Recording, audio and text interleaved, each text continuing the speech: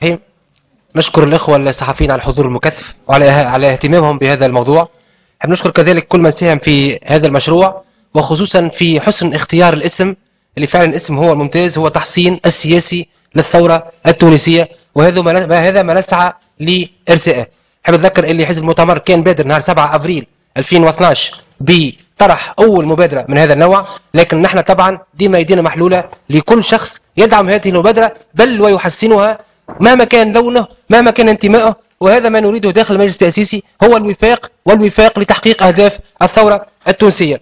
أشكر كذلك كل من طور موقفه ورفع من سقف المطالب وهذا فعلا إيجابي ويشكر ويذكر فيشكر. من أراد الإصلاح نحن معه وما كان لونه طبعا لازلنا ننتظر هذا هذا المجلس التأسيسي هذا قلب السلطة هذه السلطة الأساسية. نحن بادرنا بهذه الإصلاحات سنبادر بها سندافع عليها لأخ لآخر لحظة لكن ديما نطالب بأكثر إصلاحات في العمل الحكومي إن شاء الله ينسجوا على منوالنا ويواصلوا. تتميمة فقط في 30 ثانية تتميمة لكلام سي آه، عبد الرؤوف العيادي. نحن طبعا نساند هذا المشروع وهو مشروع تجريم التطبيع. كذلك كتلة مؤتمر بادرنا بتمرير مشروع بتمرير مقترح مشروع يسمح للمحاكم التونسية بتتبع مسؤولي الكيان الصهيوني الذين ارتكبوا جرائم ضد الإنسانية. إذا كان المتضررين فلسطينيين ولم تعهد ولم تعهد المحكمة الجنائية بتتبعهم. هذا المشروع كما كانوا الفلسطينيين محاصرين داخل غزة. اليوم سنحاصرهم خارج غزة سنحاصر الصهيونية خارجها وأدعو كل الدول العربية والإسلامية والمجاورة والأوروبية أن تبادر وتدلو ما لا تعمل كما عملت تونس. وشكرا وبارك الله فيكم. شكرا كلمة للسيد طارق بوعزيز وهو الناطق الرسمي باسم كتلة المستقلين الأحرار. تفضل.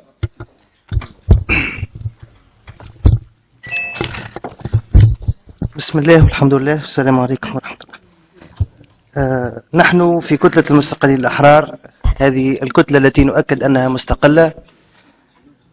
دائما ملتزمون باليمين الذي أديناه خلال جلسة 22 نوفمبر 2011 أقسم بالله العظيم أن أقوم بمهامي في المجلس الوطني التأسيسي باستقلالية وفي خدمة الوطن وحده.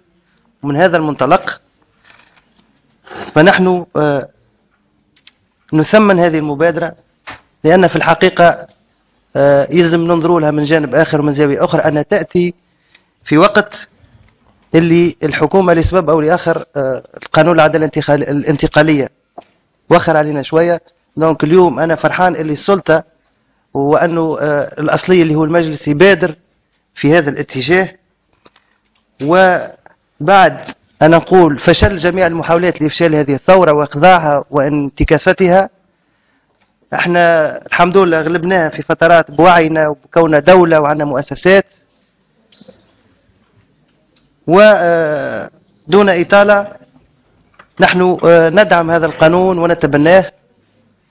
كذلك آه، نؤكد على ضرورة التسريع بالعدالة الانتقالية. كذلك نؤكد على إن شاء الله في القريب العاجل أنه نكونوا مرينا من من المرحلة الصعيبة الانتقالية. وطوينا الصفحة لأنه هالجرح هذا يلزم في نهار من النهارات يتسكر وننطلق في العمل.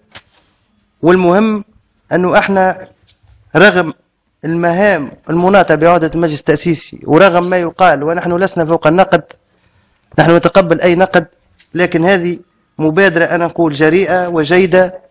ونشكر الأخيان اللي آه، قاموا بها ومش ضروري راهو شكون آه، جاب المبادرة المفيد أنه جميع كتل نتصور متفق على شيء هذايا. وإشارة أخيرة أنه ككتلة آه، المستقلون الأحرار نحن أيضا مع تجريم التطبيع.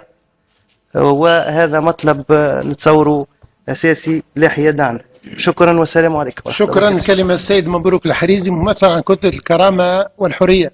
تفضل بإيجاز أقول أنه نحن انتظرنا هذا المشروع القانون يعني طويلا وأظن أنه تأخر قليلا لأنه هذا القانون يحصن الثورة ويؤكد أنها على الخط الصحيح وهو في الحقيقة آه، يعني تحصيل لمحاولات إحياء رميم الفساد والاستبداد.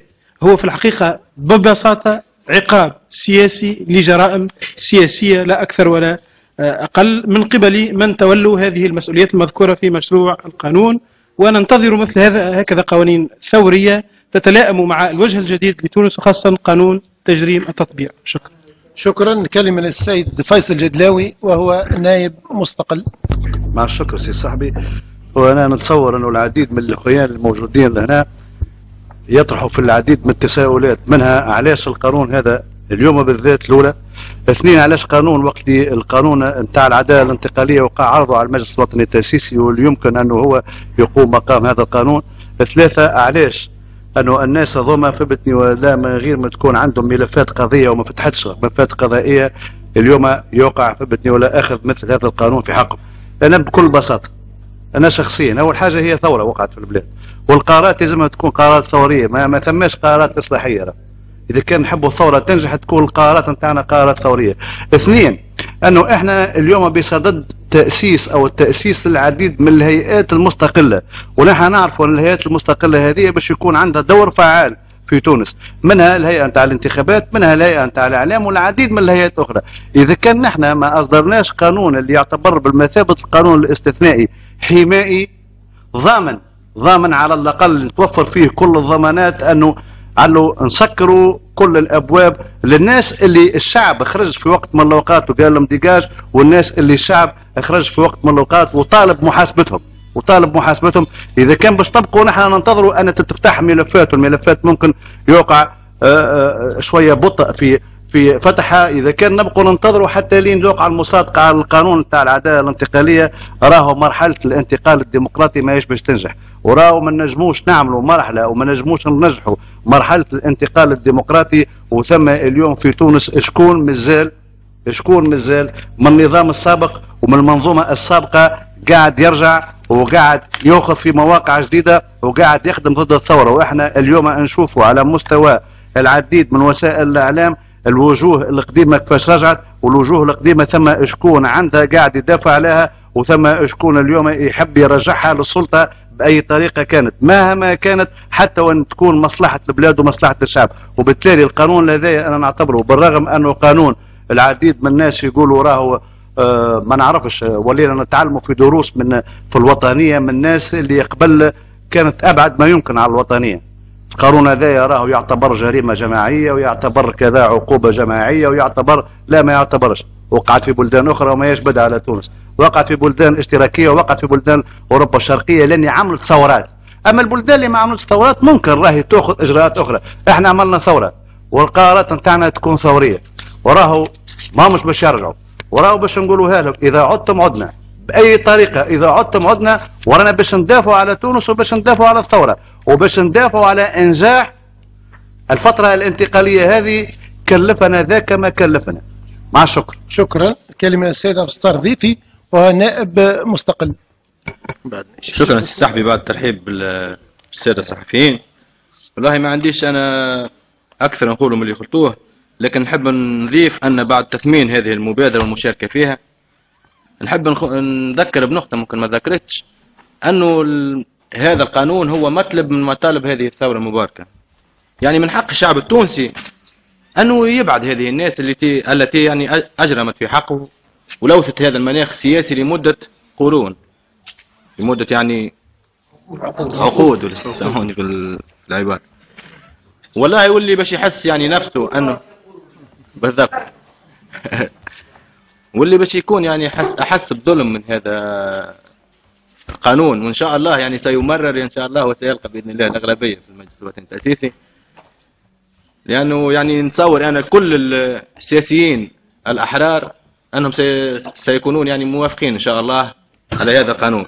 وكل كيف ما قلت يعني في الختام وكل من أحس بظلم في هذا القانون يعني فما موجوده المحاكم وإن شاء الله اللي القضاء اللي نتمناه انه قاعد ياخذ يعني في في مساره بإذن الله يعني الطبيعي اللي نحبوه يكون قضاء يعني مستقل بأتم معنى الكلمة فيلتجئ للقضاء و... وينصف بإذن الله. وشكرا. كلمة آه، صاحبي هو بكل إيجاز. راهو القانون هذا فيه عنده علاقة وطيدة بقانون تجريم التطبيع وفي تكامل فيه وراهو يعتبر هذا لي هذا في علاقة بالثاني ولا بد أن يمشوا الاثنين بصفة إن متوازية. شاء الله إن شاء الله. لا الكلمة محمد ناجي الغرسلي تفضل. شكرا. تحية وطنية. آه، بكل لطف آه، نقول إني شخصيا نعبر عن كل من يشاطرني القناعة صلب الكتلة الديمقراطية والتحالف الديمقراطي.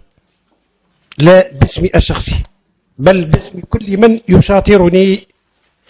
آه، نقول انه هالمبادره هذه يعني مبادرة جريئة.